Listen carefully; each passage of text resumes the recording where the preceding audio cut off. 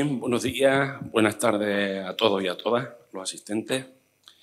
Eh, hemos esperado, bueno, lo típico, ¿no? En estos casos, unos minutitos de cortesía para que se incorpore todas las personas que pudieran estar interesadas en asistir a este evento, que es el primero, espero, varios que se puedan celebrar en nuestro centro.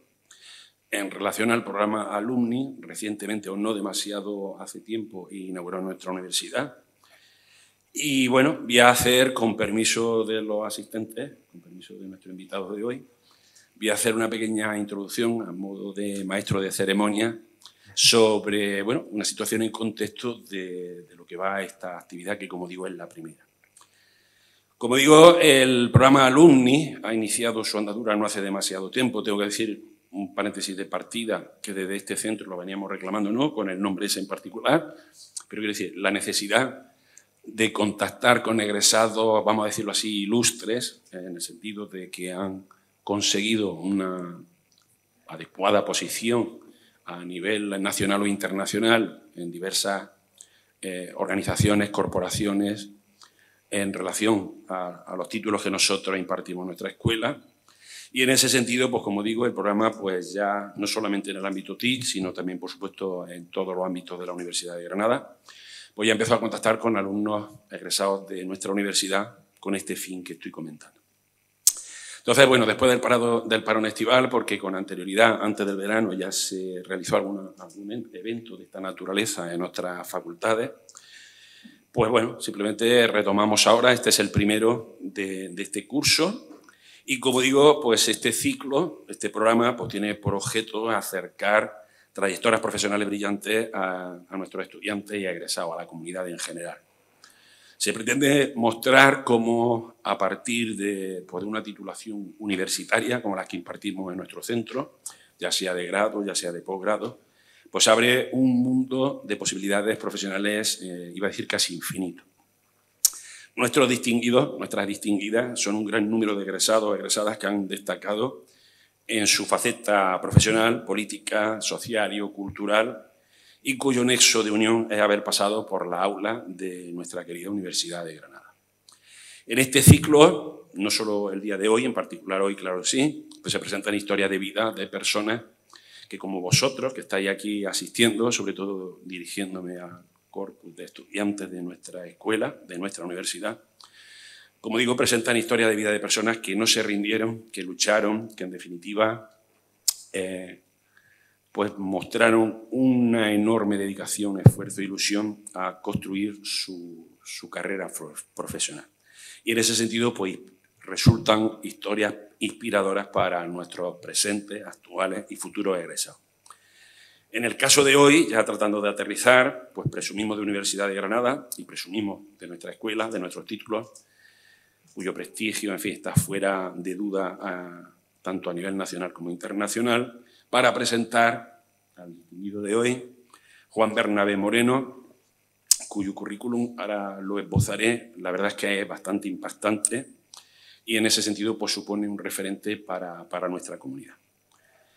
Tengo que decir que casi eh, la realización o el cursado del título, en su momento Ingeniería Informática, pues fue casi una casualidad, porque nadie es perfecto, estuvo dudando entre hacer eso o derecho.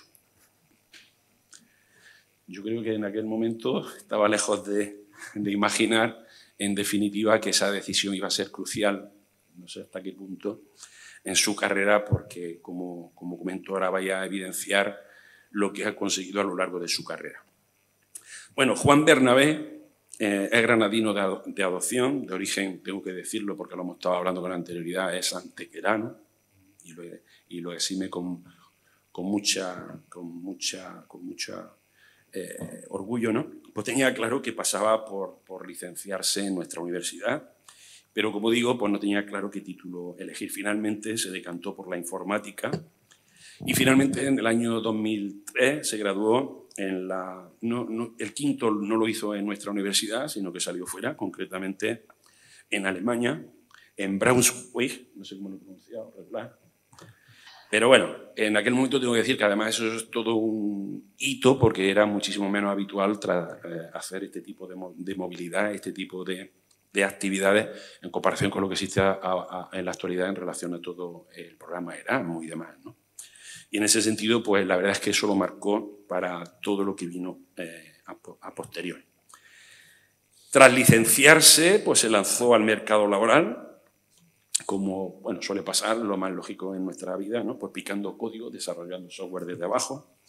Y tras una breve época en una startup de Colonia, pues se unió a la consultora DMR, actualmente seguro que os suena mal por NTT eh, Data Group en Madrid, donde trabajó en diferentes proyectos para Telefónica, para el Grupo Prisa y para Repsol. Dos años más tarde, también con esta consultora, se trasladó a Múnich, desde donde saltó a la consultora internacional americana llamada Sapien, hoy Sapien Publicis. Con esta multinacional, Juan empezó a liderar grandes proyectos tecnológicos con varios equipos en India para Deutsche Telekom, Lufthansa o Telefónica en Alemania. En el año 2007 y de manera remota, en paralelo a su actividad laboral, comenzó el máster en Soft Computing y Sistemas Inteligentes de la Universidad de Granada, que concluiría que finalizaría en el año 2009.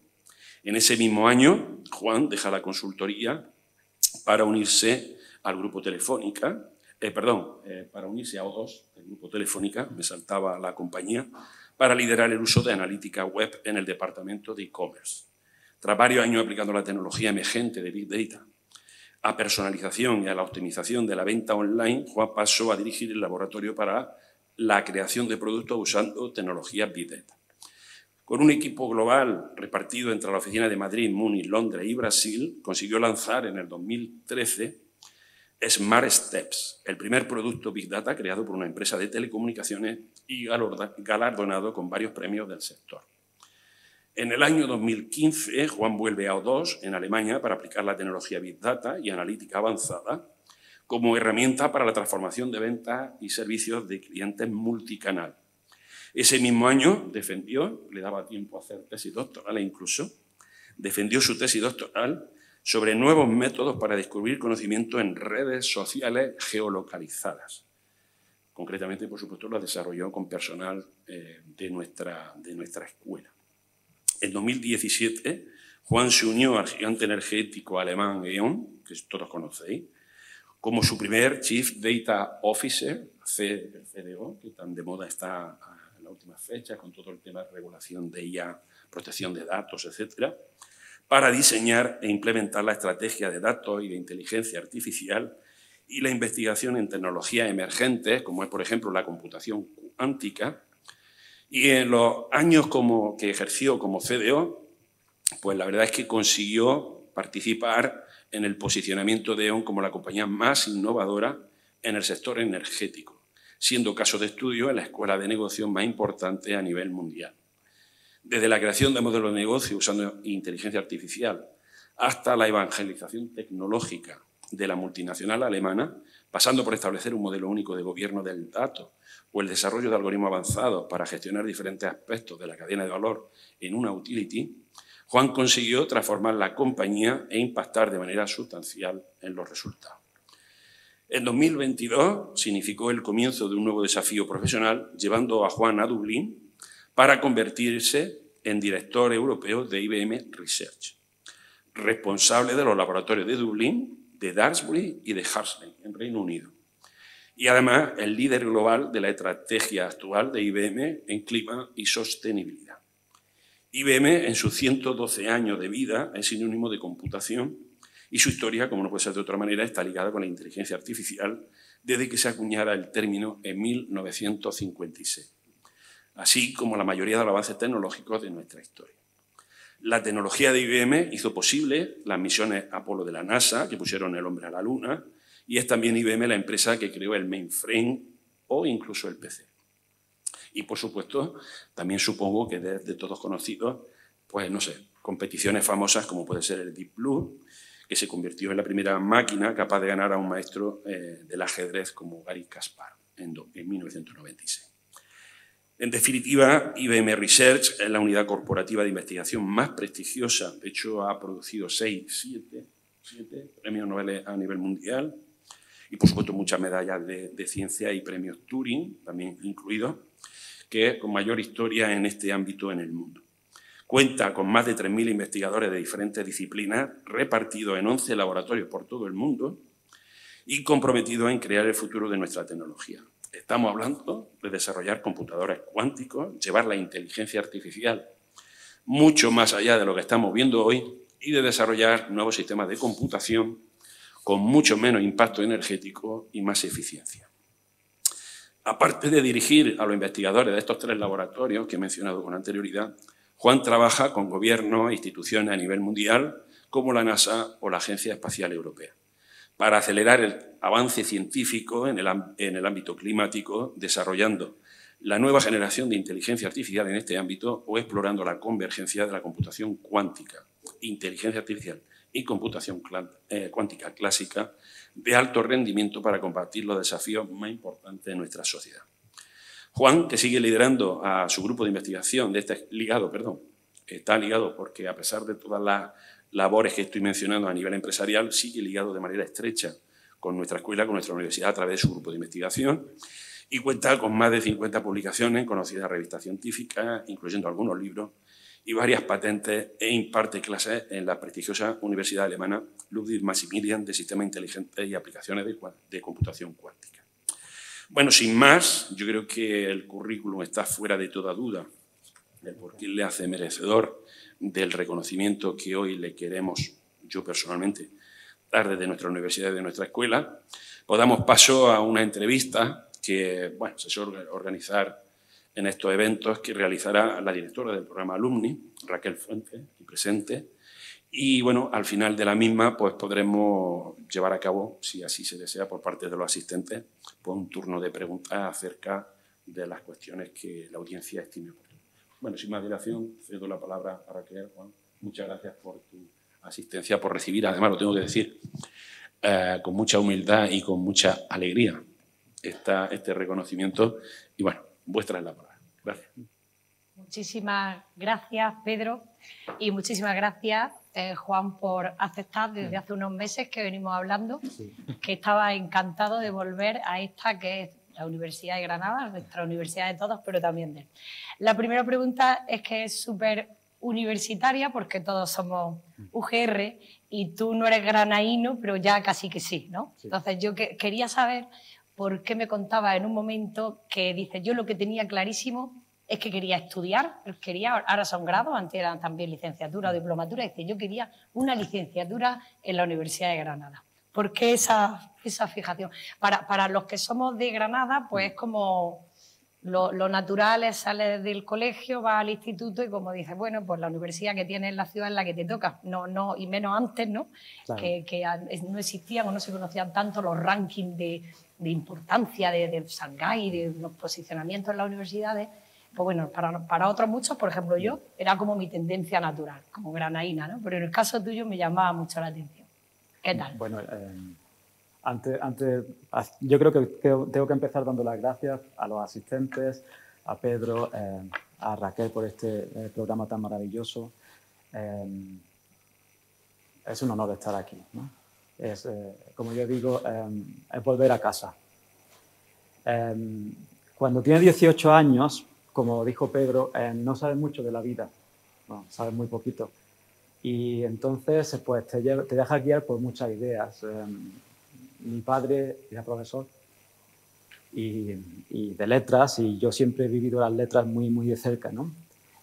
pero yo siempre estaba atraído a la tecnología también, entonces no sabía yo cómo cómo decidirme. Eh, por eso esa, esa, encrucijada entre derecho e informática.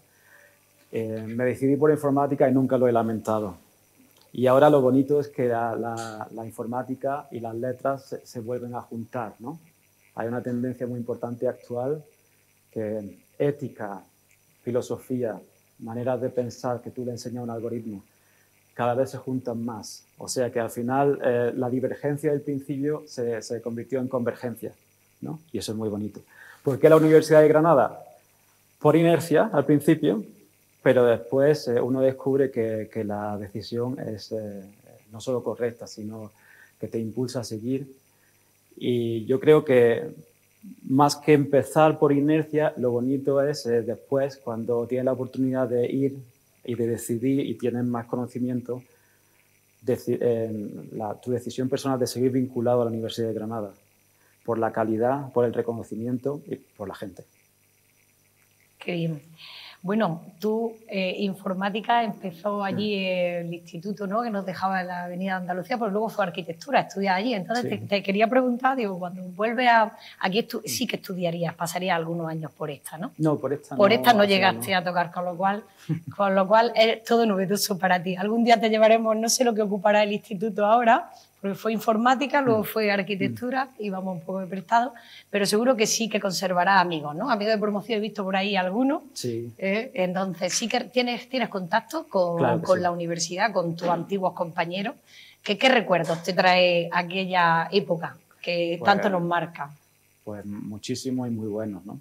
Eh, le comentaba a Pedro, y veníamos del taxi del Hospital Real y pasamos por la Nebot, que para los de mi promoción, por ejemplo, Alberto lo sabe muy bien, no había, no, había formato digital, los apuntes venían en fotocopias, ¿no? Entonces había, la Nebot era una fotocopiadora y todos íbamos allí, hemos pasado por ahí, por supuesto, hoy está cerrada o no sé si hacen otra cosa, pero que son recuerdos muy buenos de ir allí y comprar los apuntes. Eh, otro recuerdo era aquí en, en el hall este, no, no relacionado con, con mis años todavía, pero cómo ha cambiado el hall, porque antes iba allí a ver las notas publicadas, ahora hay un ah. jardín vertical, ¿no? una gran mejora. Eh, pero eso, no, no, se imaginan ellos, los, asistentes aquí, los estudiantes, cómo, vivíamos aquello. Es que informa eh, muchas titularidades han cambiado mucho, pero informática eh, es completamente diferente, completamente diferente, ha cambiado más que ninguna otra. ¿no? Y, o sea, que te recuerda los recuerdos son de una época que no existe ya, porque las cosas se hacen de manera muy diferente, ¿no? Para mejor. Pero esos recuerdos que ahí son muy, muy buenos. Eh, cafetería, barriles, todo lo que Bueno, eso sigue siendo bueno. Eso sigue siendo bueno. Sí, sí, claro que sí. Qué bueno. En 2015 eh, lees tu tesis, Nuevos métodos para descubrir conocimiento en redes sociales geolocalizadas por, no sé, el título ya te, me incita a preguntarte eso, ¿qué concluiste con esta tesis, con esta investigación? Yo, eh, fue muy curioso porque mi doctorado ha sido un poco atípico. Hay gente que se dedica full time, digamos, se dedica de lleno al doctorado, ¿no? Yo lo hice en paralelo a mi trabajo.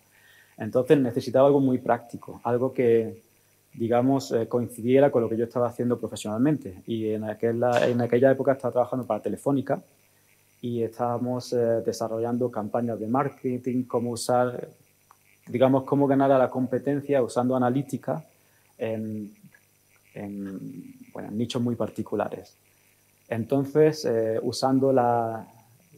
Y por aquel entonces eh, había mucho más, existía la posibilidad porque había menos, menos preguntas de privacidad y tal, usando el hecho de que todas las interacciones en social media estaban geolocalizadas, desarrollé técnicas para entender eh, cómo esa geolocalización, se puede usar en el contexto de campañas, en el contexto de entender poblaciones, en el contexto de entender em, em, comunidades. Me acuerdo yo que uno de, los, de mis artículos preferidos de aquella época era entender el, el sentimiento de la gente en diferentes ciudades. ¿no? Por ejemplo, y, cómo, cómo, reaccionaba gente a eventos.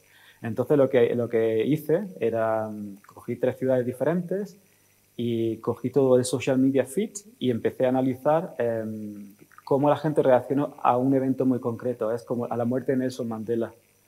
¿no? Y, y, veías que la gente de Edimburgo, la gente de Manchester, la gente de Londres reaccionaba completamente diferente, con diferentes sentimientos. Entonces leía el sentimiento eh, de manera agregada de esas, de esas tres ciudades y lo comparabas y, al final lo que desarrollaba una metodología para evaluar el impacto sentimental de eventos usando social media. Y era muy bonito y muy curioso. Bueno, curioso, seguro espectacular. Espectacular, Juan, qué bárbaro. Eh, bueno, tu trayectoria y además un poco ya leyó el director y leyó Pedro tu extensísimo currículum. Eh, pinceladas muy, porque luego abundaremos en algunas mm. cuestiones, pero en pinceladas así, muy de manera muy colateral, tu trayectoria, porque al final te mm. encuentras como nos encontrábamos todos con 18, 19, ¿no? Va evolucionando en tu, en tu carrera, eso, cómo, cómo despega mm. una persona para llegar, bueno, donde, donde has llegado tú, por dónde pasaste de manera así, que nos contaras brevemente tu trayectoria. Bueno, pues eh, yo creo que todo empieza con en los años universitarios, con curiosidad, ¿no? con un tema que te llama la atención y te intenta enfocar. Y también tomando riesgos, como me voy al extranjero em, en una época que de verdad no era tan típico. Eh, yo me fui a Alemania con muy poquito alemán, muy poquito alemán. Y Ahora ya lo que no te queda es granaíno. Allá ya granaíno, tengo que, tengo que trabajarlo mejor el granaíno, pero Pero era un riesgo en aquella época, en, no había, me acuerdo que había un plan de, para poder hablar con tu casa se llama Europa 15, eran 15 minutos al día, eh, y eso existía y se, usaba. Eh, o sea, un riesgo y después lo que, lo, todo ha sido decisiones basadas en unas... Lo, que es muy curioso de, esta trayectoria es que siempre encuentras algo que no sabías que te iba a servir hasta que te servía, ¿no? Mucha gente dice, álgebra, ¿qué hago yo con álgebra en mi carrera? Ahora, en desarrollando algoritmos cuánticos, el álgebra está al orden del día. Pero eso no lo sabía yo cuando salí de la facultad, ¿no? O sea, no, cosas que piensas que a lo mejor no van a servirte, eh, están en el cajón y de repente vuelven y, ah, no, pero si es que esto es lo que, se necesita. Yo creo que ha sido un, cúmulo de siempre suerte, trabajo, y siempre estar al tanto de qué viene, eso es el espíritu investigador, ¿no? Cómo se va a desarrollar la tecnología y ¿En qué apuestas? También ha habido muchas apuestas que no han llevado a nada, pero eso es parte del, juego. ¿no? Pero esos elementos son los que me han ido impulsando. Por ejemplo, el otro riesgo o otra, otra cosa que no era necesaria es hacer un doctorado cuando ya tienes tu puesto de trabajo y ya sigues tu carrera. ¿no? Pues a mí eso me ha, me ha abierto muchísimas puertas y me lo he pasado súper bien también. Con el grupo de doctorado, los congresos, no solo es el, la materia, pero todo lo que te reporta en, personalmente. Y son grupos, un grupo en el que estamos conectados, seguimos conectados, tenemos nuestro grupo de WhatsApp y nos lo pasamos muy bien. Qué bueno. Eh, un poco como retroalimentación ¿no? para, nuestros, para nuestros estudiantes que, que, te ven y todos los que te verán, ¿no? porque esto lo retransmitiremos después. Cuando tú estabas en tu búsqueda de empleo, cuando ibas dando esos saltos, ¿cómo percibías ya desde un poco la lejanía, cómo percibías esa formación que habías recibido pues, en tu escuela? ¿no? Como dices, venga, ¿qué conocimientos me están ayudando? ¿Qué, qué no? ¿Cómo percibes ya en la lejanía eso? Em, en el área que estamos, de tecnología, eso cambia tan, tan rápido y cada vez cambia más rápido. ¿no? O sea, la aceleración del cambio es algo que, que nos sorprende a todos si tú miras lo que podemos hacer ahora mismo con, los grandes modelos que tenemos, si tú lo comparas con donde estábamos hace dos años, es noche y día, ¿no? O sea, ese, la preparación que te da la universidad es una base muy buena, pero no es suficiente. Entonces, cuando miras al mercado laboral, es muy importante, digamos, poner de tu parte y cada vez tienes más protagonismo tú en la decisión de cómo llevar tu carrera. No es algo automático que sales, eh, buscas un empleo, te pones a programar y subes a software engineer, subes a manager. Em, eso lo puedes hacer, pero cada vez necesitas poner más de tu parte, ¿no? Yo cuando, cuando yo terminé, lo más normal era, bueno, búscate un empleo y yo probé en consultoría, me gustó mucho, aprendí mucho, muy dura, ha cambiado mucho consultoría antes con consultoría ahora, pero sigue siendo muy demandante. Y, eso es, eh, aterriza uno y desarrollalo desde ahí, ¿no? Cuando eres joven puedes probar muchas cosas, ¿no? Yo creo lo que lo que a mí me gusta es cuando una, y hoy día lo puede hacer, eh, tomar riesgos. Quiero hacer esto y, cada día es más fácil tener las herramientas para perseguir lo que quieres hacer, ¿no? Eh, eso ha cambiado mucho. Yo creo que la, la posición de los estudiantes hoy en día cuando salen es muy diferente. Es muy competitiva, pero también tienes muchísimas herramientas a tu disposición que si pones de tu parte eh, puedes eh, diferenciarte de muchos. Así lo veo. Así que bien. Eh, bueno, tu currículum ya hemos visto, como hemos dicho antes, que, efectivamente es apasionante, mm. pero cuando nombras empresas que has trabajado en la NASA. Yo, por Mm. ejemplo, la NASA o la Agencia Europea Espacial solo lo conozco en el telediario. ¿no? Mm. ¿Cómo es trabajar en esta empresa? Bueno, con IBM Research eh, tenemos la fortuna de, de tener los mejores profesionales y trabajar con las mejores empresas del mundo. Yo me siento muy afortunado. Em, con NASA, ¿por qué? Porque todo el mundo conoce aquí ChatGPT, por supuesto. Em, ChatGPT ha cambiado, em, ha, ha cambiado el panorama de inteligencia artificial. ¿no? Nosotros, aplicando la misma idea de, de construir un modelo fundacional con datos, empezamos con, a trabajar con NASA directamente y, y, todos los datos de satélites alrededor de la Tierra eh, lo hemos usado, toda la historia que tienen, para entrenar un modelo fundacional, como el ChatGPT, pero usando eh, imágenes de satélite.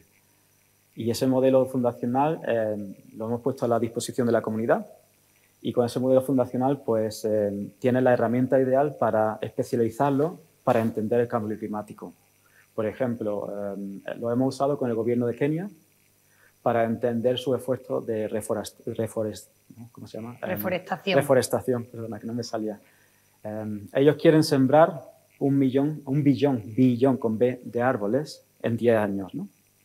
Ellos dependen de los árboles porque eso es lo que genera um, el agua de, de, toda, de toda Kenia, el 75% claro. de, de, de, de, la reserva hídrica. hídrica. Entonces, es muy difícil hacer ese esfuerzo sin, sin, tener las herramientas para entender cómo controlar la reforestación, qué dónde funciona, cómo hacer microcampañas, eh, cómo medir, eh, digamos, eh, si una campaña ha sido efectiva o no. Entonces, lo, lo, lo, que nosotros hemos hecho es con ese modelo, con el gobierno de Kenia, hemos conseguido desarrollar una herramienta para medir cuánto, cuánto in, por semana, ¿no? So, ¿Cuántos árboles se, han sembrado nuevos? ¿Cómo es eh, la altura de esos árboles? ¿Cómo se desarrollan? ¿Cuál es la capacidad de secuestrar carbono? ¿Cómo usar ese carbono para, participar en los eh, mercados de, carbono que hay? O sea, se puede monetizar. Eh, ¿Cuál es el efecto de, poner un, una valla? Incluso eso, ¿no? O sea, de verdad muy, muy granular. Y eso se ha hecho con ese modelo que hemos, eh, hemos sacado. Otro ejemplo, eh, el gobierno de Kenia en mayo, inundaciones terribles durante tres semanas, gente muriendo y todo eso. Con el mismo modelo, eh, trabajando junto con ellos, con la Cruz Roja, dónde poner eh, los campamentos, dónde, qué, rutas evitar, dónde hay riesgo de, de, de desprendimiento de tierra, cuál ha sido los assets afectados, cuál ha sido la extensión de la inundación con el mismo modelo. ¿no? O sea, de repente tienes herramientas que desarrollas con la NASA, con la Agencia Espacial Europea, que de verdad te hacen eh, algo como es el cambio climático, eh, te lo hacen eh, medible y te lo hacen accionable y te lo hacen, te lo ponen a la, a, la, a la, disposición de la comunidad. es algo muy especial. Impresionante, sí, sí, sí. diría yo. Impresionante. Y la NASA, bueno, y esta semana, esta semana misma, esta semana misma, que si buscáis IBM y NASA, si lo buscáis en Google, veréis la noticia. Todo. Eh, que sale, salgo yo, sale una, una quote mía. Eh, esta semana hemos sacado el, un modelo para tiempo atmosférico y clima. Con ese modelo, pues, eh, en vez de necesitar se, semanas de computación un centro de, de, en un centro de computación intensiva con, un, con, tu laptop, con tu ordenador personal y con, con, lo, con, el modelo que tenemos, pues ya puedes hacer cosas como eh, cómo va a ser un evento del cambio climático en 10 en diez años. ¿Cómo se va a manifestar ese evento en 10 años en la costa de Motril, por ejemplo? Eso lo puede hacer. Y es algo que no hay, no existe, no existía y nosotros lo creamos. Y eso es lo bonito de mi trabajo, que creamos tecnología que no existía eh, antes. No sé nada. Bien, bien, bien, ¿no? Bien, sin palabras, ¿verdad?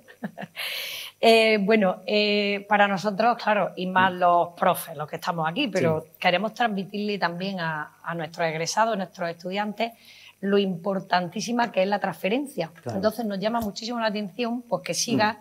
Eh, bueno, con más de 50 publicaciones, que colabore en grupo de investigación aquí con la Universidad de Granada, con la escuela, incluso en otras universidades. Sí, que sigue con los papers, ¿no? Como decía tu familia, que seguía eso. ¿Qué tal? Es decir, ¿entiendes realmente que por qué si esa rama tuya de, investigar, de seguir publicando, cómo la llevas tan, tan a tope, con una vida, ya vemos, tan intensa? Pues nosotros, bueno, yo he conseguido hacer de la investigación mi trabajo principal ahora con este, con este trabajo en, IBM. ¿no? Antes no, eh, antes era un poco más eh, al lado. Em, la universidad tiene un papel muy importante que jugar, ¿no? Siempre lo ha tenido en temas de innovación, siempre lo ha tenido en temas de, eh, digamos, de experimentación y siempre ha sido em, algo nace en la universidad y después acaba en una empresa. Por ejemplo, en, la en una otra universidad que yo doy clase, en la Ludwig Maximilian eh, de, Múnich. Ahí eh, nació el, primer algoritmo de Stable Diffusion. Stable Diffusion lo conoceréis aquí, ¿no? nació allí. Y, de ahí saltó a la industria y hay muchas compañías eh, usándolo, pero nació allí. la, la, universidad tiene un papel innovador muy, muy importante. ¿Qué es lo que está pasando ahora? Que la inteligencia artificial cada vez tiene más hambre de GPUs, ¿no? de, de tarjetas de GPUs, ¿no? de acelerador de gráficos. Entonces es algo que, la que está dejando un poco atrás a la universidad, porque aunque tenga las mentes, pero le falta un poco la, infraestructura y todo eso. Y es algo que nos preocupa mucho en, IBM, por ejemplo. Porque si mira ahora quién, quién saca las últimas innovaciones eh, de estos modelos, pues son compañías muy grandes con muchísimo dinero para invertir en cómputo, ¿no? Entonces es algo que nosotros incluso promovimos desde IBM, IBM y Meta se juntaron con muchos otros, con NASA, con muchos otros, ¿no? Y lo que formamos una alianza, se llama lo llamamos The AI Alliance, ¿no? O la, la alianza que si lo buscáis lo, lo veréis también, con el objetivo de crear vínculos con universidades de tal manera que las universidades puedan acceder a la misma capacidad de cómputo que tienen todas estas empresas para reconocer el papel innovador de las universidades. Un ejemplo de universidad con la que trabajamos muy bien es eh, el Imperial College en London. El Imperial College se unió a la alianza y ahora, pues, eh, digamos que creamos proyectos entre todos. Una empresa pone esto, otra empresa pone lo otro, trabajamos con Red Hat, ellos ponen los sistemas, nosotros ponemos los investigadores eh, y el Imperial pone los faculty members, los, investigadores suyos, pero ellos ya no están limitados a la, capacidad de cómputo, porque eso te lo da la alianza. ¿no? O sea, estamos reconocemos el papel de la universidad como una fuerza innovadora, al mismo tiempo que intentamos que esa capacidad innovadora no la merme el hecho de que es muy caro innovar estos días, ¿no? Eh, como estos tiempos. Eso es muy, muy importante. Y algún, oyéndote, claro, la universidad como motor para formar profesionales, para mm. innovar efectivamente, como lo percibe la industria. Eh, ¿Qué consejo, si se puede, mm. ¿no? darle, a, en este caso, a la Universidad de Granada para decir, oye, pues donde a, lo mejor tenemos para no mm. perder ese carácter innovador y que la empresa los vea así, ¿para dónde, qué tiene que hacer, qué deberes tiene que hacer la universidad? Yo creo que la, Universidad de Granada tiene mucha gente muy buena que está intentando impulsar las cosas, ¿no? Impulsar y innovar. Y Granada se está convirtiendo en un centro neurálgico de, la inteligencia artificial. Em, a mí eso me parece súper bien. Yo creo que em, hace todavía falta eh, llegar un poco más lejos. ¿no? Yo, yo comparo un poco porque tengo visibilidad ¿no? de trabajar con, con, con el Trinity College en Dublín eh, con Imperial, con Oxford, con, con algunas universidades americanas, eh, con la de Múnich, eh, con... yo lo comparo un poco, entonces tengo una visibilidad. Y yo creo que, siempre lo comentaba con Enrique, con, con nuestro vicerrector de investigación, yo creo que hay que agilizar un poco la colaboración entre empresa y universidad. ¿no? ¿A qué me refiero? que no todo sea un, digamos, una beca, una cátedra, un, no, digamos que se piense un poco más a, colaboración, en plan de colaboración. Una cosa que funciona muy bien son programas de, supervisión industrial de doctorandos. Eso es algo que bueno, el gobierno inglés lo lleva al máximo. Nosotros tenemos nuestro propio programa en Dublín también, en, el laboratorio de, de, Suiza, en Zurich, tenemos con la ETH, ¿no? ETH, ahí. Y eso consigue que de repente la empresa y la universidad confluyan en una persona impulsando un tema. Y eso tiene mucho valor porque de repente eh, en una persona se, digamos, se cristalizan dos visiones, ¿no? Y, programas de ese tipo que eh, eso yo creo que impulsaría muchísimo eh, la, digamos, la, la, relación de investigación y de empresa. El lunes lo estamos llamando, Pedro. Hoy. Lo tendría claro. Eh, ¿Cuál es el papel al que está llamado a jugar la tecnología en nuestra sociedad? Yo creo que es muy importante también para, para los alumnos aquí que, que, yo cuando hice informática, vale, podías programar, podías crear algoritmos, eh, llegaba a una empresa, te ponían a, necesitamos que el, carrito de la compra en esta página web funcione, tal. Y entonces tú te ponías, lo picabas y había por supuesto, la ingeniería del software alrededor. Era algo muy transaccional, muy, muy poco creativo. Hoy en día la tecnología ha cambiado tanto que no necesitas ni saber programar para hacer lo que yo he descrito. ¿no? Por supuesto, em, no es lo mismo la calidad al final que te da un ingeniero informático con experiencia de la que te da un, algoritmo, pero eso se está igualando. Eso tiene eh, una parte buena y una parte mala. La parte mala, que para mí no es tan mala, es que eh, todo el tema de programar y todo eso se ha hecho una commodity. Quiere decir que no necesitas eh, ser el mejor programador para hacer lo que era posible hace 10 años. La parte buena es que de repente tienes en tus manos un poder que no, nadie tenía antes. Y, y la parte mejor es que si entendemos que entre nosotros y todo el mundo digital hay una pasarela. Y esa pasarela es una pasarela, eh, eh, no solo los ChatGPT, sino muchos otros modelos. Ahora vienen los agentes. Esa pasarela eh, te permite llevar cualquier idea, cualquier, no sé, cualquier intento de, de, convertirte en un empresario con muy poco esfuerzo te la permite llevar al siguiente nivel, ¿no? O sea, por eso animo a todo el mundo a que piense un poco que si está en este mundo de inteligencia artificial, eh, puedes llegar a hacer cosas que eran impensables hace cinco años, ¿no? Pero también tenéis mucho poder y responsabilidad, porque lo puedes llevar de una manera o lo puedes llevar de otra, ¿no? Lo puedes usar para el bien pues, o lo puedes usar para para fines no tan, em, tan benignos. ¿no? O sea que digamos que el estudiante de hoy de informática tiene una responsabilidad añadida que no teníamos nosotros porque la tecnología no estaba ahí. O sea, es muy importante también eh, valores, ética, em, entender también el tema de governance, sobre el gobierno del dato, el gobierno de los algoritmos, entender una cosa muy importante que es hacer no sé, hace cinco años o hace diez años, las la empresas eran closed source, ¿no? Eran toda todo tu, código era tuyo y, era tu ventaja. Hoy día eso ya no vale. Hoy día eh, el futuro es open source, ¿no? Tiene que ser abierto y, y tienes que... Y vosotros tenéis la responsabilidad de contribuir a ese futuro y de proteger un ecosistema en que la innovación sea abierta. Y eso es lo que nosotros estamos intentando proveer. Qué bueno. Bueno, oírte es un auténtico placer, Juan.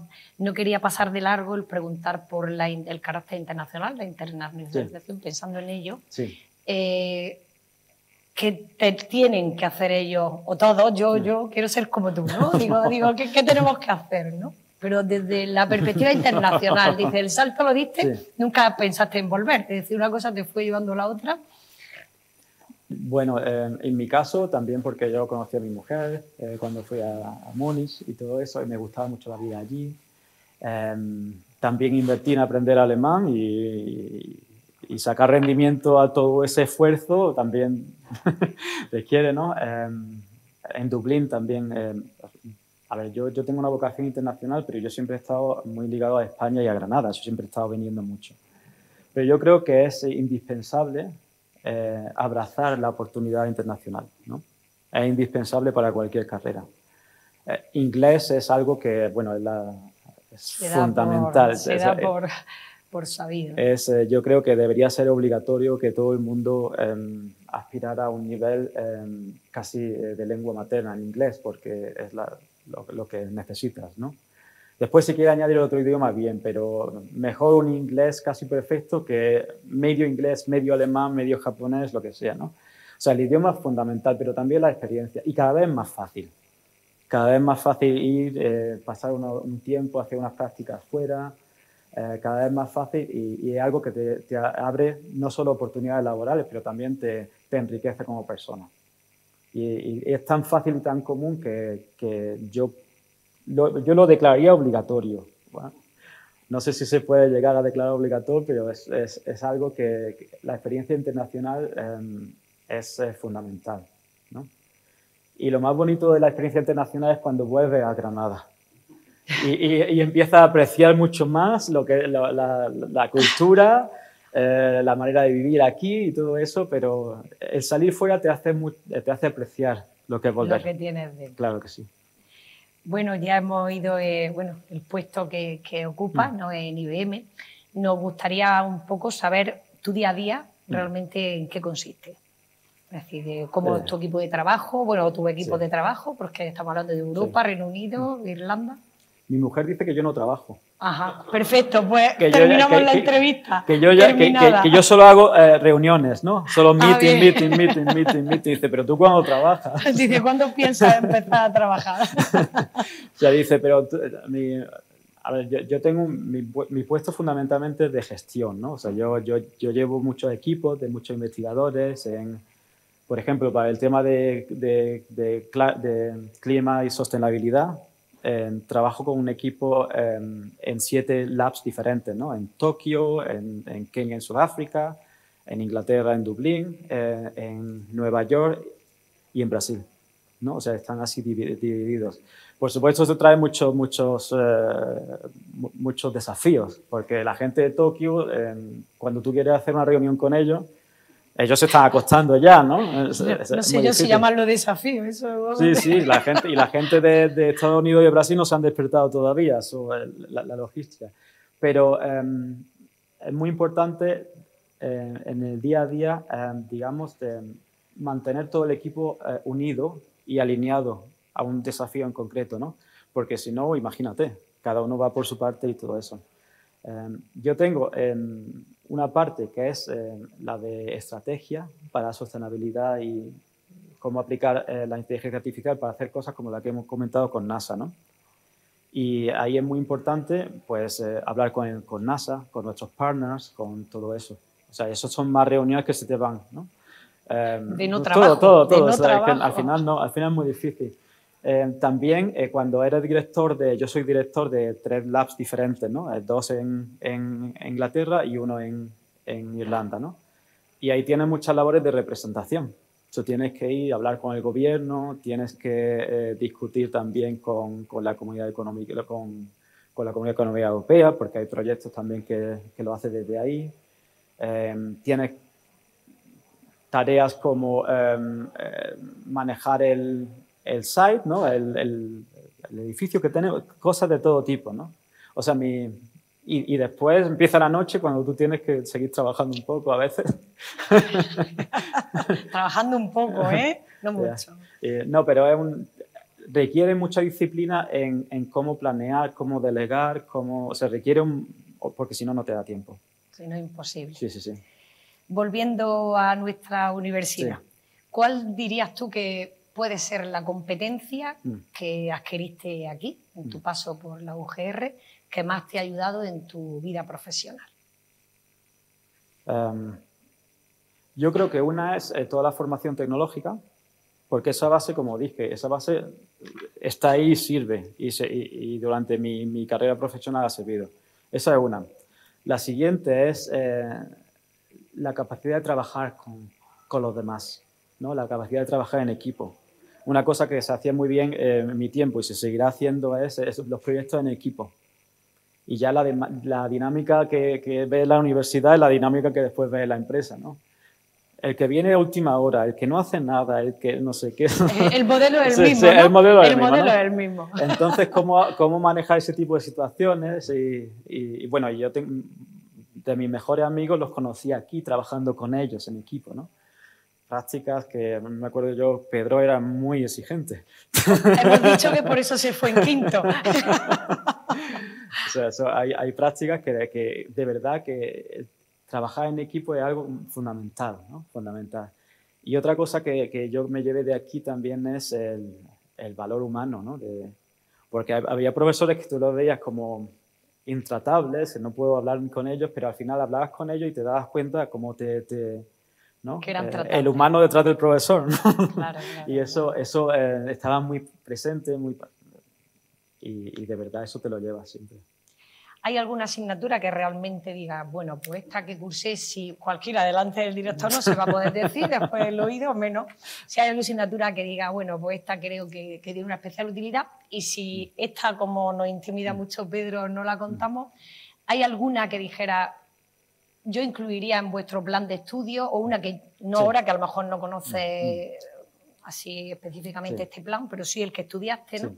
Dices, pues yo incluiría, avanza tan rápido como bien dices tu campo, ¿no? ¿Hay alguna asignatura que dice, oye, fundamental introduciendo o introducir esta? Yo incluiría, yo no sé si están, pero incluiría el, eh, tema de ética. No está. Pues, uh, no solo la tecnología, sino la pues ética de tecnología. Pues nada. Y otra cosa que incluiría es el tema cuántico. El tema de, bueno, pero podrían venir, sí, sí, sí. No existe, vale. Eh, pero el tema de, los principios de, quantum computing, algo así, ¿no? Yo, es que la doy esa en, en Múnich, ¿no? y, de verdad sirve mucho, sirve muy bien. ¿Por qué? Porque eh, no solo en la inteligencia artificial, tuve otra tecnología emergente, la combinación es muy poderosa, ¿no? La convergencia de cuántica e inteligencia artificial. Y yo creo que eso es algo que yo incluiría.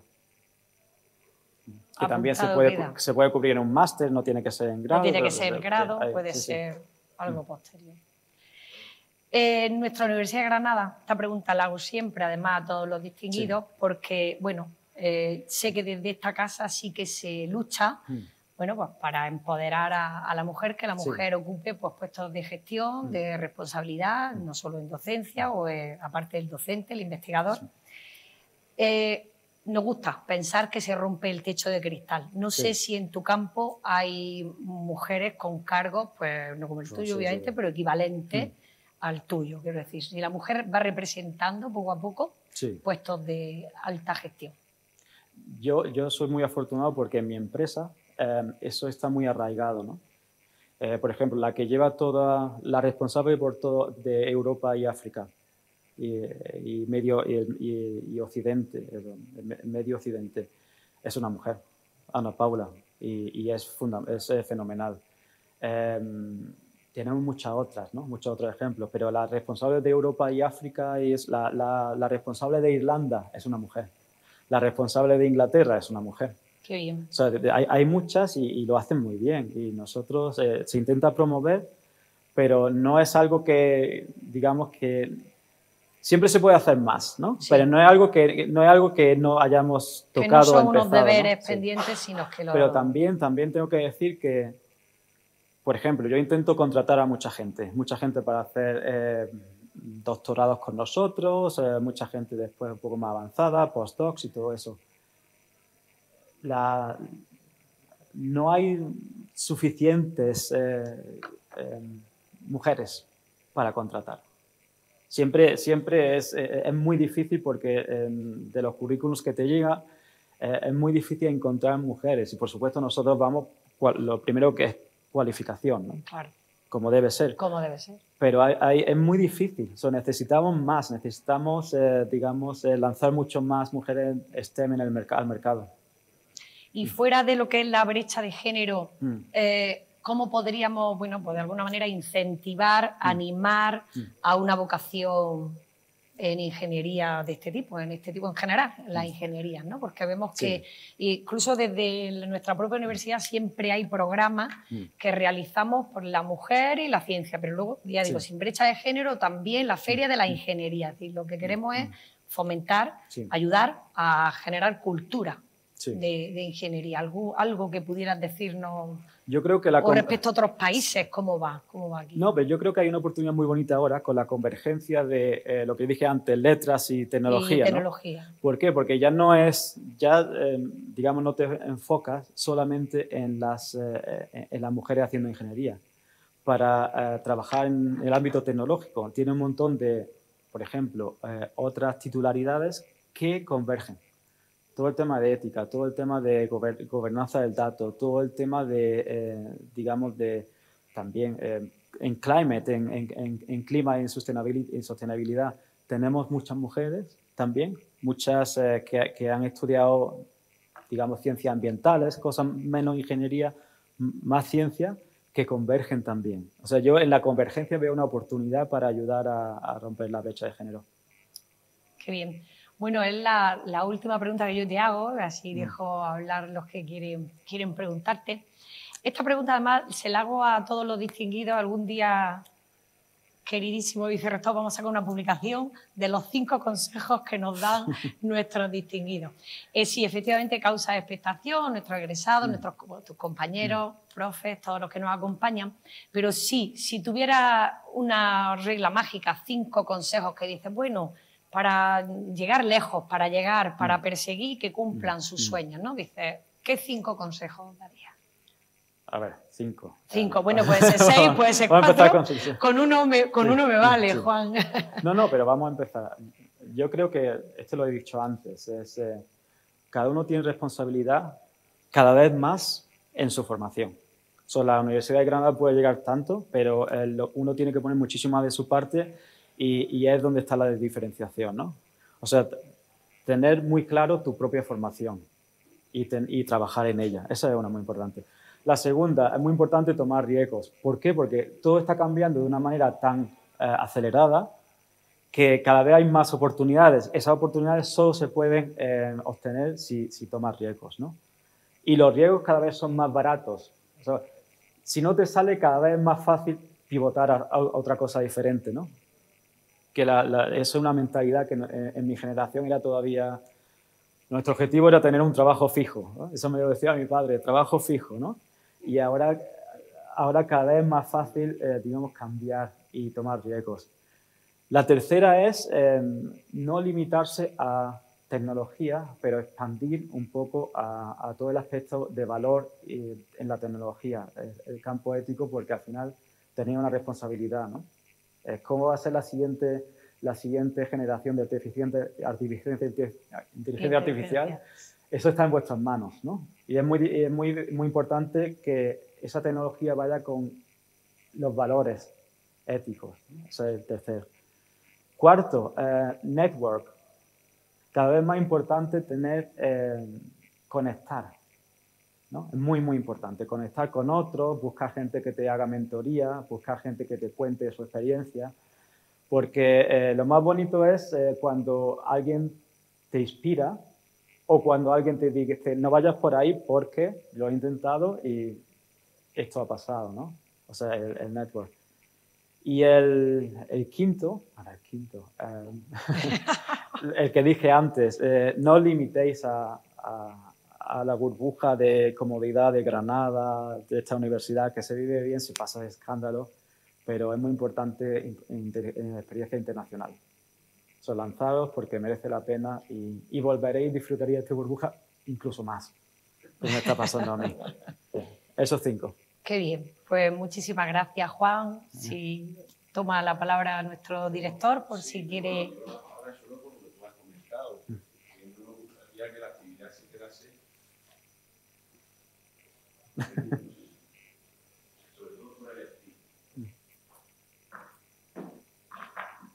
perdón. Bueno, es que no quería subir tampoco. Eh, bueno, como decíamos, que lo comentaba anteriormente al inicio de la, de la entrevista, que no nos gustaría que la actividad se quedase solo en la conversación entre, aunque muy interesante, que duda cabe, entre Raquel y Juan, sino que tuviese todo el mundo de los presentes la oportunidad de trasladar cualquier duda, cualquier comentario, cualquier pregunta a nuestro distinguido de hoy, ¿no? Con lo cual, pues evidentemente aquí estamos para, no sé, alguna interpelación, una intervención de los presentes. Claro.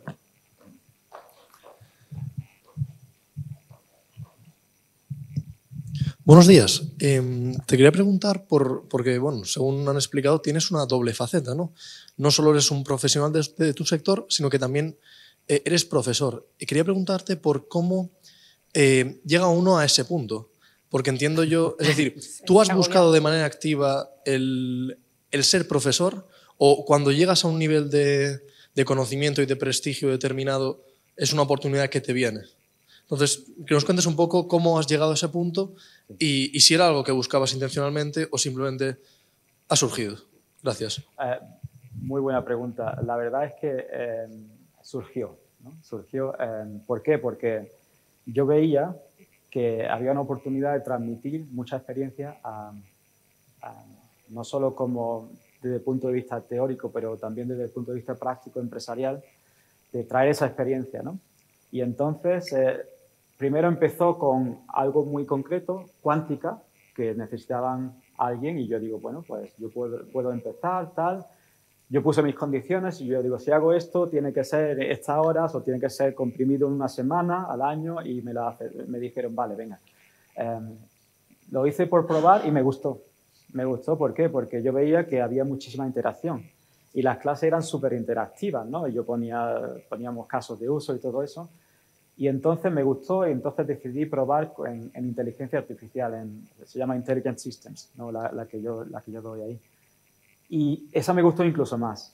Entonces lo que hago es que me quité la de la cuántica y me dediqué a eso. Y, esa la, hice el año pasado, la última vez, y, y, fue, fueron seis días seguidos. Claro, en seis días seguidos, de manera intensa, la experiencia del alumno fue brutal. ¿no? cada vez venía, en vez de perder gente, venían más, porque se corría la voz. Y, estuvo muy, muy bien. Eh, y lo pasaba muy bien porque, por ejemplo, cogimos, y, el ChatGPT. ¿Cómo funciona este algoritmo de verdad? Y fuimos paso por paso. ¿Cómo funciona este otro tipo de algoritmo? ¿Cómo se combina? De verdad, de manera muy, muy aplicada. Y, a mí eso me llenó mucho también. Y entonces, pues ya me lo piden todos los años. Entonces se desarrolló así, ¿no? pero que, mi padre era profesor, yo tengo una vocación inherente y, yo siempre he trabajado con profesores eh, que están en mi mismo grupo de investigación y eso es lo que me llevó y estoy muy contento. Pero vamos, que es, es un poco prestigio, es un poco que me gusta, que me gusta ayudar. Eh, no es que yo esté buscando un cambio de trabajo con eso, ¿no? pero, pero lo hago así y viene bien. Y, IBM me lo considera también. IBM le gusta que tener gente que, que, vaya y haga eso también, porque eso significa que, que estás, eh, bueno, que crece, tu eminencia, como ellos lo llaman, y que también estás eh, ayudando eh, y estás a la comunidad. Sí. Si me permites, em, supongo que todos los estudios de posgrado que has hecho han facilitado mucho tu incorporación a este tipo de, de actividades, ¿no? Sí, eh, eh, bueno, el máster era el primero, eh, paso obligatorio, y, después pues todo el tema de, investigar en un grupo, hacer el doctorado, publicar, todo ese tipo de actividades pues te dan credibilidad para ser profesor.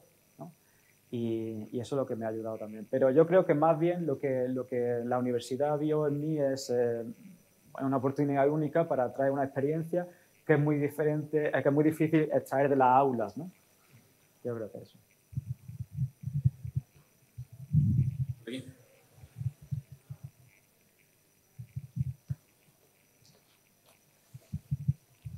Muy buena. Eh, lo primero, darle las gracias porque ha sido súper motivador y súper inspirador para alumnos como nosotros, que usted en un momento fue también alumno aquí.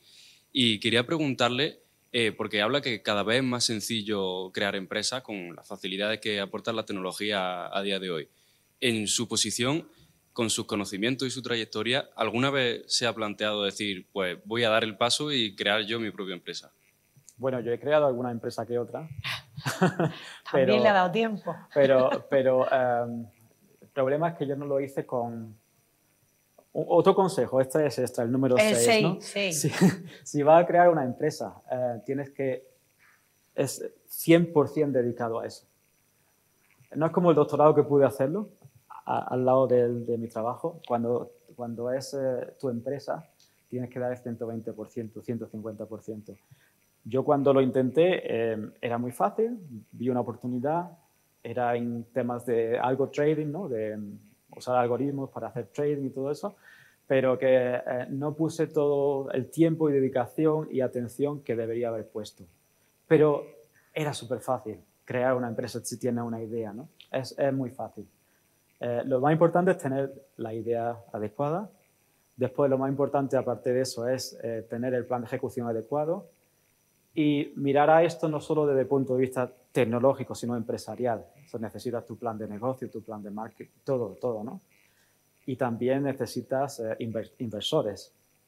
Eh, cada día menos, cada día menos porque digamos que los gastos que tienes para hacer algo impactante no son tantos, sobre todo si no es hardware, ¿no? Si es software, los gastos son muy, muy eh, pequeños. Pues me gustaría repetirle que muchísimas gracias por, por venir aquí. Encantado. Muchas gracias, Alfonso. ¿Por aquí? ¿Alguna otra pregunta?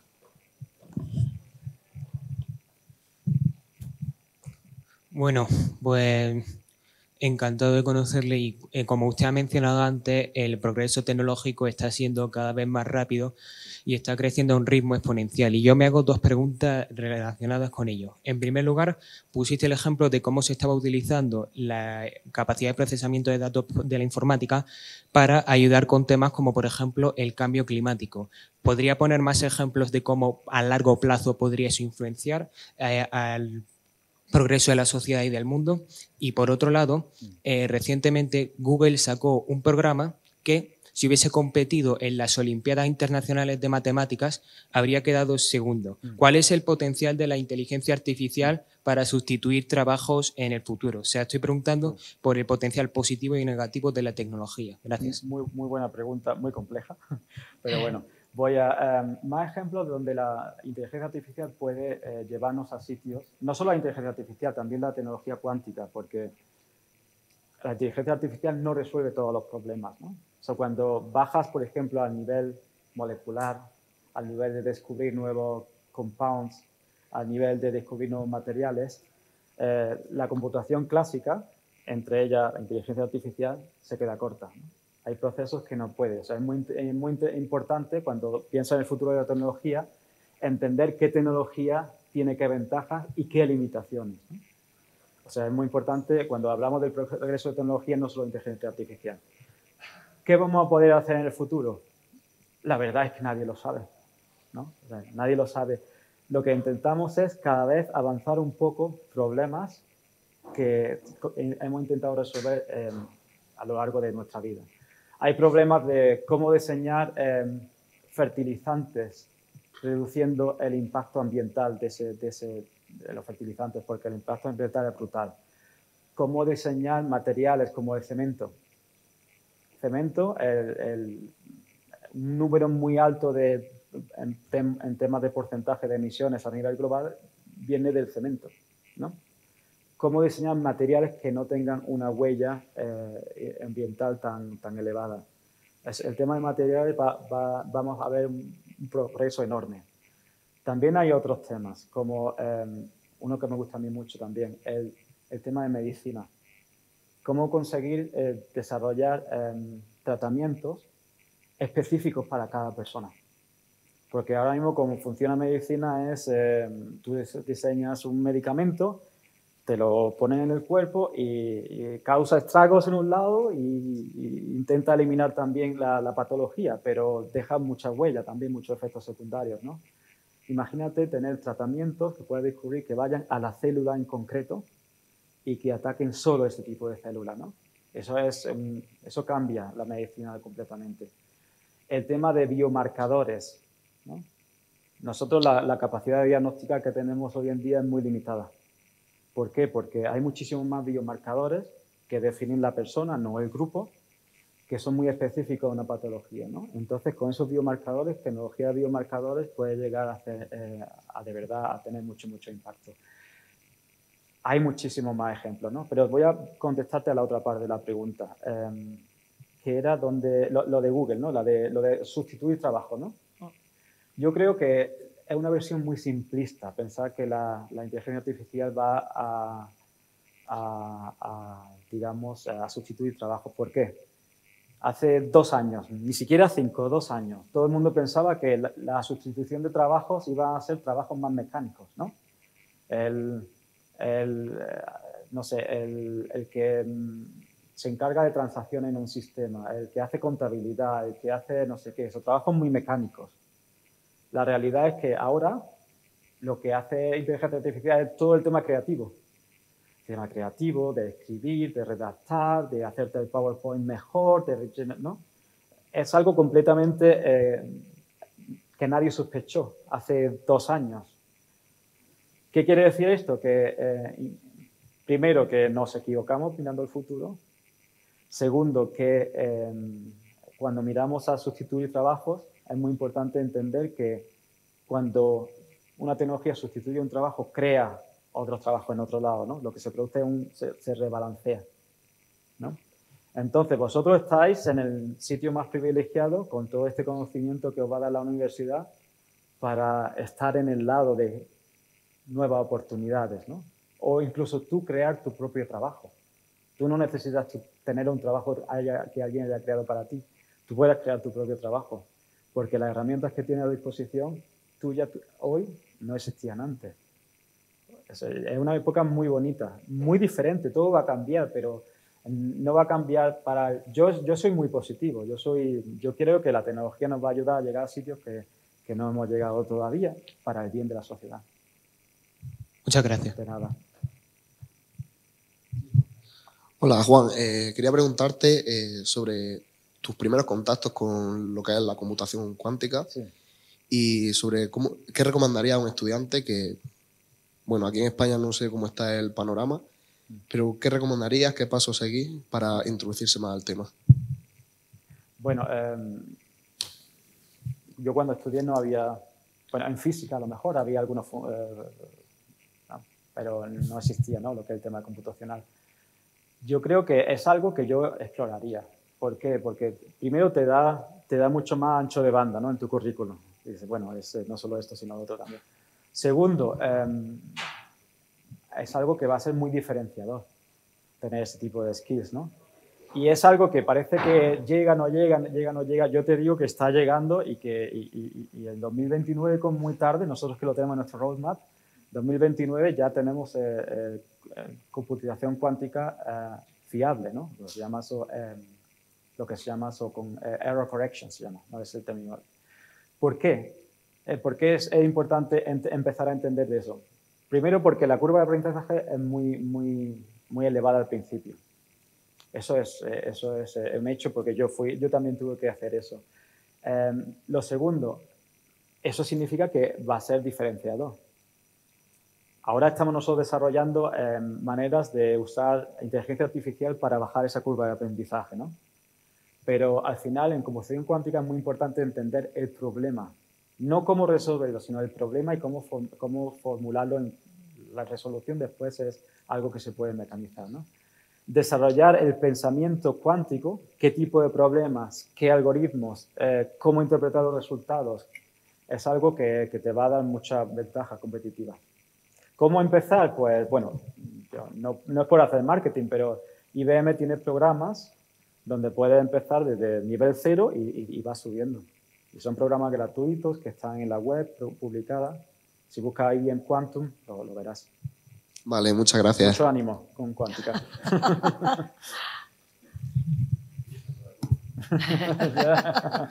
eh, buenas, Juan. Me,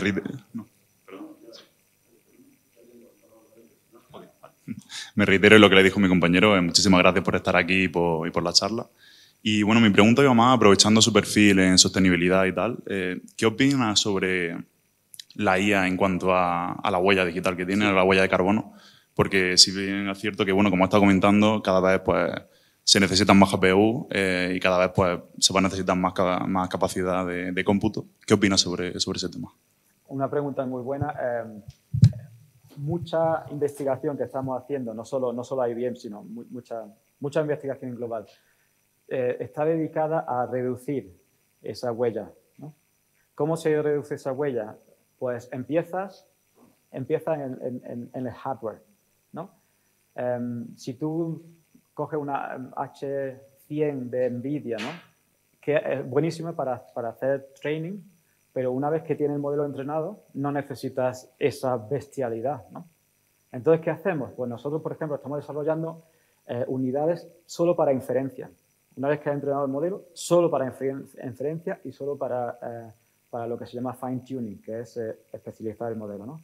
¿Qué hacen esas unidades? Pues trabajan con aritmética mucho más simplificada, trabajan con otro tipo de arquitectura, trabajan, eh, mapean todas las operaciones de matrices mucho más eh, en el chip, ¿no? Eh, para que sea mucho más eficiente. y al final, pues tienes unidades que te permiten hacer inferencia con un quinto de la energía que, que, que, consume la GPU. Otra, otra medida, hacer los modelos mucho más pequeños se llama quantization, ¿no? Se llama eh, cuantificar los modelos, que es, digamos, reducir la precisión y hacerlos mucho más pequeños, más específicos. Em, otra medida, em, hacerlo muchísimo más especializado em, y, usar agentes.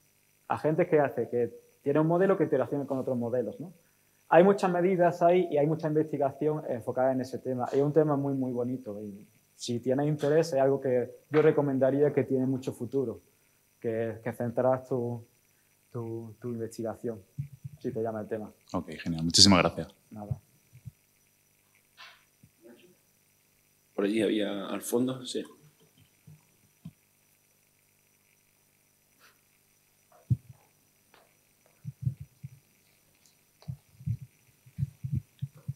Bueno, Juan, lo primero, gracias por, por la exposición, me ha encantado. Eh, yo creo que nuestros estudiantes ya han cubierto el cupo de preguntas, digo, y, y yo creo que ya ha hecho todo el trabajo. Voy a corregirte un momentillo la memoria porque la fotocopiadora se llama Clemot, no Nebot. Nebot ah, es una constructora. Es que el Granada no lo ha perdido, y como recomendación, si pasas por Granada o te vas a quedar, te digo que ahora llevan el servicio de, de reprografía de las facultades de relaciones laborales, eh, trabajo. Edificación y, mm, Pauli y Cecilio siguen allí. Y además, cada vez que pasamos a algunos de los de informática por allí, se ponen contentísimos, te lo advierto. O sea que si tienes la oportunidad, si les pega una visita alguna vez que pases por Granada, te lo van a agradecer. Pues muchísimas gracias, qué ilusión. hombre, que me, da alegría que cómo se reconvierten los, negocios, ¿no? Esta es una, una flexibilidad que se han, se han Claro, en Clemo además por Eoporte la plano. Verdad, no, claro, digo, bueno, pero está ahí Nacho ahí corrigiendo. es verdad. Qué ilusión. Y otra pregunta, sí. Yo es que hay una cosa que me confunde. A ver, entiendo que está en el departamento de investigación y que no necesitáis un rédito inmediato con lo que investigáis y tal, pero al final no dejáis de ser una empresa. ¿Cómo compagináis eso, el rédito económico y la recreación intelectual, por así decirlo? El, ¿Lo tenía en cuenta o, está un poco igual? Nosotros tenemos, es una pregunta muy buena, por cierto, ¿no? Eh, nosotros tenemos dos, eh, digamos que dos misiones, dos, ¿no? Una es eh, diferenciar de manera tecnológica todos los productos de IBM, ¿no? IBM, a ver, IBM no es una marca muy conocida a nivel B2C, ¿no? Como, no sé cómo decirlo, Sí, a, nivel, consumidor, a nivel consumidor. Nosotros nos centramos en, grandes empresas, ¿no? O sea, 75% de los bancos usan IBM y todo eso. Nosotros nuestro foco es un poco, por eso no es tan conocida como por ejemplo Microsoft. ¿no? Pero siempre tenemos productos tecnológicos que hay que diferenciar. Entonces nuestra apuesta es usar eh, investigación para no solo diferenciar, sino crear el futuro de la tecnología. ¿no? Por ejemplo, ahora, temas como eh, computación analógica, eh, que es algo que se investigó, pero se volverá tal.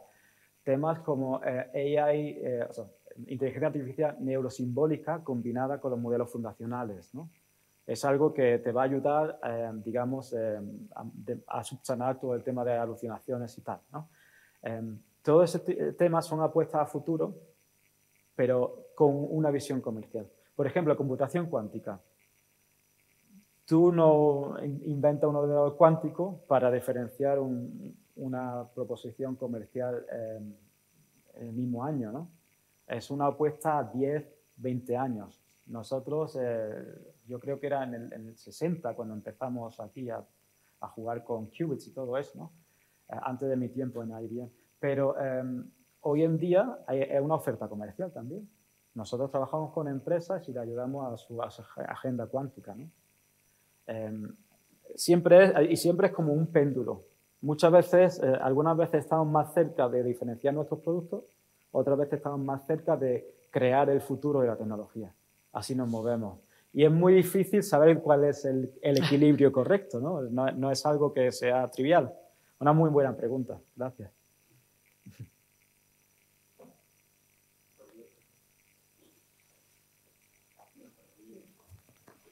se pueden manifestar. Claro, Sobre todo que se han enterado.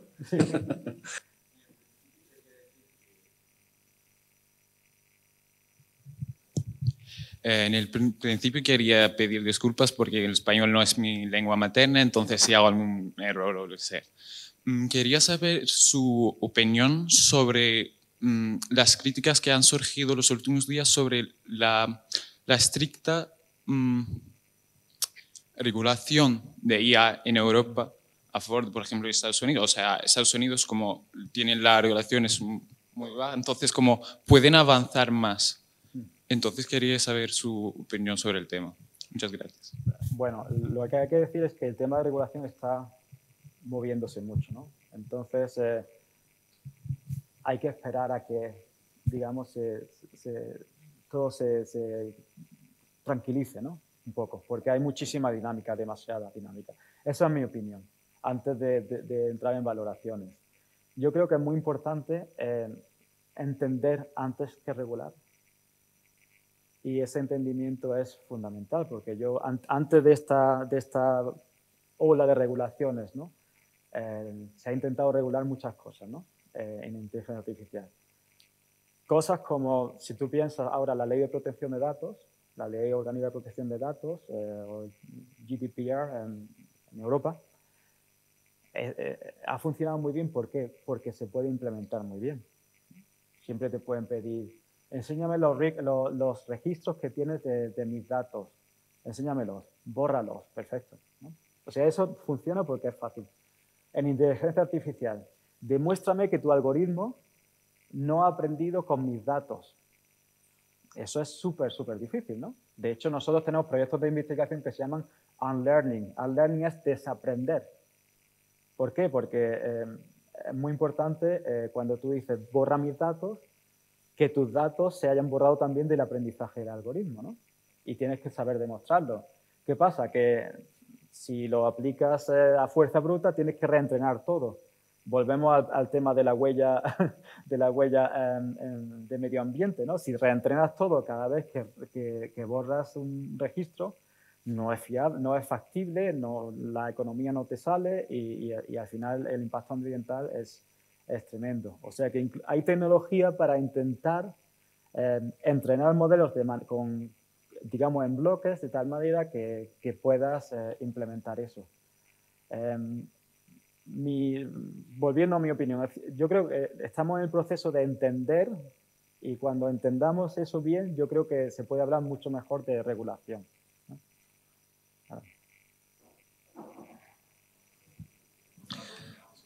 Sí. Bueno, yo creo que sí, vamos en tiempo, ¿no? Es relacionada con lo mismo que he preguntado antes, que sería básicamente esas técnicas que han mencionado se aplican en la actualidad y ya no solamente se aplican, sino Mm, ¿qué impacto tiene sobre los algoritmos básicos? ¿no? Digamos, o sea, ¿Tiene un impacto negativo sobre el rendimiento? Entiendo que sí. ¿Y cuánto hay? ¿Realmente son usables o no? ¿Pero qué técnicas? ¿Puede ser más específico? Bueno, mm, por ejemplo, lo, que has comentado de que mm, eh, cojo un algoritmo, ¿no? lo entrena, digamos, a grosso modo y luego ya lo especializa, ¿no? Digamos, em, esas técnicas eh, tienen el mismo rendimiento que si siguiese, digamos, el proceso estándar de, entrenamiento de, un algoritmo. Sí, sí, e incluso rendimiento superior. Sí, bueno, al especializarlo, ¿no? Sí, ¿por qué? Porque de la manera, la manera que funcionan los modelos fundacionales es que todo el entrenamiento lo haces al principio. El entrenamiento, la fase grande, se llama pre-training, ¿no? Lo haces al principio. E, y ahí es donde tienes de verdad un montón de consumo energético y todo eso. Después, lo que haces es, una vez que tienes un modelo base, lo especializas, lo que se llama fine-tuning. Lo especializas. Una vez que lo especializas, la especialización es muy barata, el tema de computacional. Lo puedes hacer con una GPU o dos, ¿no? Em, eso ya, por supuesto, ahí es donde empieza a explotar la, eh, eh, economy of scale, digamos, la ventaja de haber hecho el pre-training. Si, mientras más, más veces lo especialices y más veces lo uses, mejor te sale eh, las cuentas al final de, consumo total energético. lo bonito de esto es que si lo especializas bien, con pocos datos y tal, pero con datos muy concretos, el rendimiento es mucho mejor entre aspectos generaliza mejor la economía del dato, no necesitas tantos datos para hacer el, fine-tuning, ¿no? Y al final el, el, cómputo, el, cómputo necesario, la computación necesaria para hacer el fine-tuning es muy, muy reducido y no depende de un cluster grande, ¿no? Digamos que estos modelos democratizan el acceso a modelos especializados, porque todo el mundo lo puede hacer con su, con su ordenador. Así es como... y eso está, bueno, eso está a la orden del día. De nada. Muy bien, muchas gracias. Mira, hay otra pregunta por aquí, el señor vicerrector. Y si os parece ir pensando quién más quiere formular alguna pregunta, vamos a ir tratando de ir cerrando. Bueno, eh, buenas tardes. Si no hay más preguntas de, los estudiantes, yo quería hacer una reflexión y una breve mm, pregunta. Una reflexión es que me alegra enormemente y te doy la enhorabuena Raquel porque el objetivo está más que cumplido con este, con este formato lo que buscábamos era traer a alguien en cada centro que fuese mm, una persona con, una gran proyección internacional en su ámbito y un programa hecho para vosotros y vosotras, para que podáis interactuar con él, preguntarle. Creo que esto se está grabando, se está emitiendo en streaming y luego se está grabando. Yo recomendaría a vuestros compañeros y compañeras que no han podido asistir pues que lo vuelvan a ver, entren en la página web de, Alumni y lo, y lo vuelvan a ver porque creo que ha sido una clase magistral la que os han dado, ¿no? Una clase y una experiencia de vida con toda la experiencia que, tiene Juan. Y además me ha encantado las preguntas y, que, habéis hecho y la participación, además preguntas tan, de verdad, tan, tan, tan certeras, ¿no? Así que bueno, os doy la enhorabuena y también, por supuesto, al, al director de la escuela. Y una pregunta, también una curiosidad. Te lo he comentado antes, tiene experiencia en el ámbito de los negocios también, ha, participado, eh, ha tenido empresa y ha participado en, aplicar toda esta tecnología al ámbito de los negocios. Y una pregunta es, ¿qué retos tiene la empresa en la actualidad, el mundo de los negocios en la actualidad, para ser capaz de aprovechar toda la tecnología y el desarrollo tecnológico eh, pues para poner en valor sus marcas, ¿no? Y en qué nivel estamos, no sé, según tu percepción en el ámbito, no de las grandes empresas, que sí lo aplican mucho, telefónica y tal, sino, podemos decir, la pyme, ¿no? que es lo que más nutre el tejido empresarial en España. ¿Qué crees tú? ¿En, qué nivel estamos? Si todavía tenemos mucho recorrido, porque también eso puede ser un reto interesante para los estudiantes de cara al futuro. ¿no? Y muchas gracias. Pues muchas gracias por, por, la, por todo el acto hoy y por, por estas palabras tan amables. Em, yo creo que el, primer requisito está cumplido, que es el tema de mm, awareness, es como um, de saber qué está pasando y que saber que hacer algo. yo creo que todo el mundo lo sabe porque eh, con ChatGPT y con estos modelos todo el mundo eh, ha visto las posibilidades que tiene la, la, inteligencia artificial hoy. Todo el mundo, ¿no? Todo el mundo lo usa. Todo el mundo lo usa para diferentes fines. O sea que digamos que el, arte, lo que es posible está, está ya en las manos de la gente, de manera privada y tal. ¿Qué quiere decir? Que las empresas transfiere su, todo el mundo transfiere su experiencia personal a la experiencia que significa esto para mi trabajo. Eso es lo primero. Yo creo que es muy importante tener la gente correcta, la gente con, con, los skills correctos, con la formación correcta, porque si no, por, mucho, por, mucha concienciación que tengan, no van a llegar a nada. Se necesita una estrategia muy, eh, muy bien definida. Y yo creo que ahí es donde ya empiezan a tener más problemas. ¿no? El tercer paso, que, es, que para mí es fundamental, em, si uno piensa hoy en los modelos de inteligencia artificial que hay ahí, que todo el mundo usa, ¿no? son modelos que usa todo el mundo. Eso tiene una ventaja y un inconveniente. No, no diferencian a nadie, ¿no? no diferencian tu empresa con respecto a otras.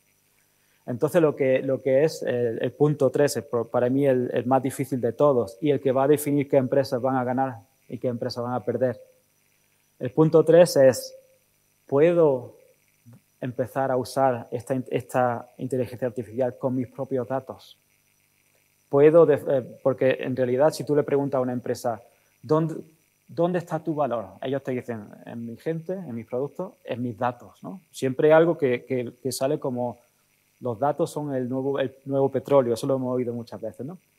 Entonces, lo que es muy importante es las empresas que se atrevan a usar sus propios datos, inteligencia em, artificial generativa, y empezar a crear su propia inteligencia artificial. En vez de consumir, en vez de consumir el, API de ChatGPT y todo eso, tienen que tomar responsabilidad, usar sus datos, entrenar con los modelos que hay ahí fuera y empezar a, desarrollar su, inteligencia artificial como un diferenciador muy potente. Y eso es lo que va a, separar. ¿no? Eso, y ya lo estamos viendo en grandes empresas, por cierto. Muy bien, muchas gracias. ¿Alguna otra intervención? No hay tiempo, ¿eh? Lo digo porque vamos terminando, pero tampoco hay que hacerlo de manera tan brusca. ¿No? Bueno, en cualquier caso, yo creo que, para concluir, yo creo que las palabras de nuestro señor vicerrector están más que perfectas. Está fuera de duda cualquier comentario que yo pueda añadir. Y lo que sí que procede, yo creo que una, un gran fuerte aplauso, agradeciéndole a Juan su estancia. Y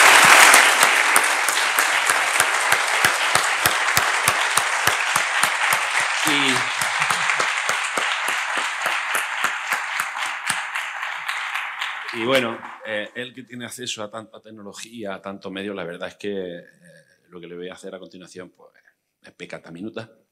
Pero que sepa que se lo entregamos con todo cariño, con toda nuestra admiración. Es un presente desde nuestra escuela, pues simplemente para que tenga un recuerdo cuando vaya a Múnich, cuando vaya a Dublín, que lo ponga por ahí, que lo exhiba con orgullo. es, bueno, una plaquita, yo se la enseño, es para de la escuela en agradecimiento por este reconocimiento por todos sus logros en nombre de la comunidad, ¿no? Muchísimas gracias, de nuevo. Bueno, y un pin, hombre, por Dios. muchas gracias. muchas gracias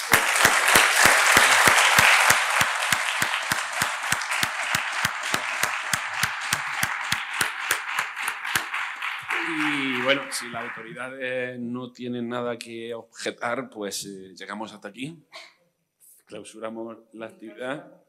Y bueno, de nuevo, muchísimas gracias a todos por la asistencia, por la presencia y nos veremos en las próximas. Muchas gracias, buenos días a todos.